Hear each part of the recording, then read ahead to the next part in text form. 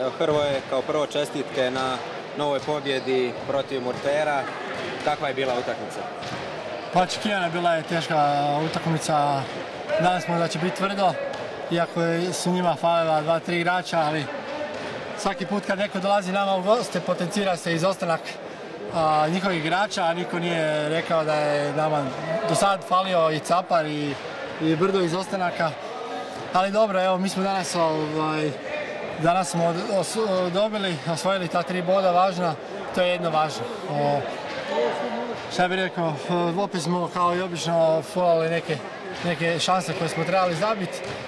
Imali smo i malo sreće iz, iz, tako reći, gotove utakmice s rezultatom 3-0. Doveli smo se u situaciju gdje moramo strepiti nad pobjedom, ali eto, uspjeli smo se obraniti i na kraju upisali pobjedu. U nikad izjednačenijoj ligi ova pobjeda opet ne znači sigurno treće mjesto. Čeka vas put u Dubrovnik, dolje će biti vjerovatno potrebno pobijediti da bi se izborila ta toliko željena treća pozicija. A dobro, idemo kroz cijelu sezonu, idemo u, utakmicu po utakmicu i tako idemo i sad idemo prvo vidjeti što možemo napraviti u kupu. Imamo strašan, strašan raspored.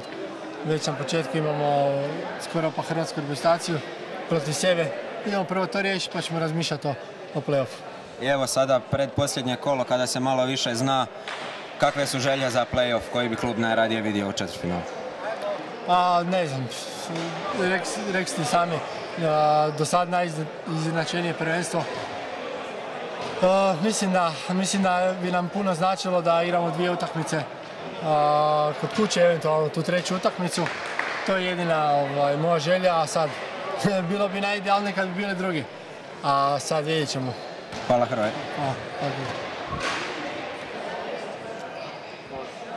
Evo čestitke Mladenu Perici Štrli, iako ste izgubili utakmicu, prikazali ste jako dobru igru večeras. Nakon 3-0 skoro ste došli do nerješenog rezultata. Pa dobro, odigrali smo danas večeras dobru utakmicu.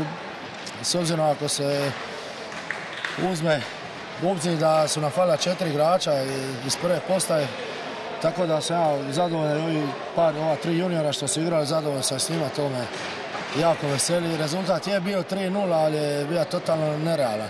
Mi smo, nisam još pogledao statistiku, ali bar 7-8 izrazitih prilika imali prvo poluvrijeme, dok su oni iz, možda iz četiri zabili tri.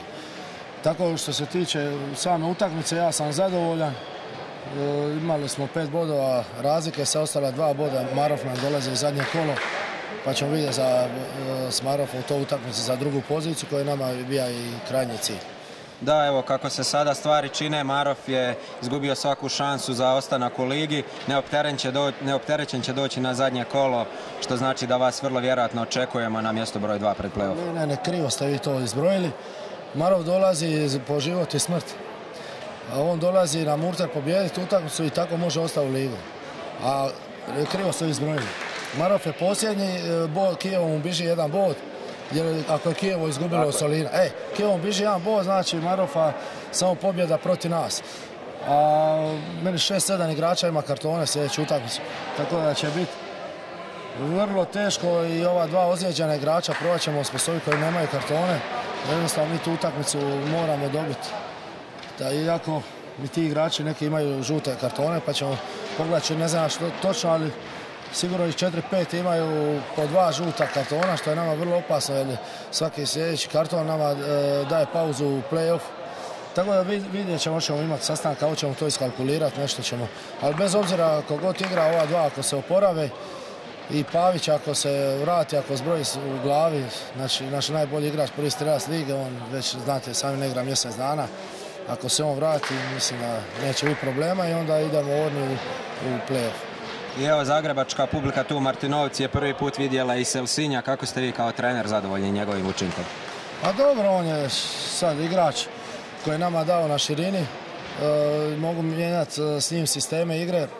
Dok je Pajić bio sad, sad smo već malo tu u, zakinuti, ali nadam se da će se vratiti. A on je nama dao na širini, nije to sad neki igrač e, za taj novac i tako, ali jako je dobar momak, voli trenirati, pristojan je, Siguran je na, na lopti tehnički dobro potkovan i što mene kao trenera sasvim zadovoljava jer to je ono što smo mi trebali tako da mislim da smo s njim pogodili. Štrla, hvala i sretno nastavku se.